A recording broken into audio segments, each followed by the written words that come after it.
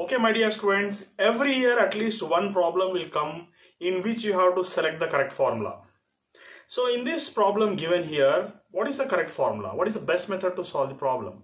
Instead of going for derivations, the simple shortcut method is to go for a different approach that is called as dimensional methods. How can you solve this problem by using the dimensional methods? Uh, okay, it's very simple. If you see the options here, you can observe and find out that second option is going to be the correct answer. How can you find out that? Uh, this is just like a trial and error method, but a very efficient method. It's very simple to solve. Let us uh, see here what are going to do now. So, for example, in the second pro, in the second option, if you observe, is asking us to find out the frequency. Uh, that is frequency f is going to become 1 by 2 pi uh, square root of ya by m into l. Okay so now you all know that you can uh, say that uh, 1 by 2 pi doesn't have any dimensions. But if you observe here, uh, Young's modulus, there is a formula which is nothing but force by area.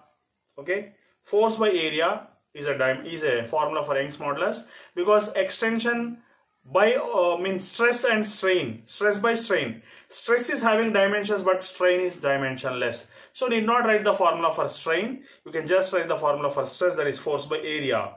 Into again area divided by m into l. So area area gets cancelled here. Then what is left here? Let us see. So if you write the dimensional formula for frequency that is uh, what is that? Force. Force is nothing but mass into acceleration divided by mass into length here. Okay then mass mass gets cancelled here. Mass mass gets cancelled here. What is left? Let us see here now.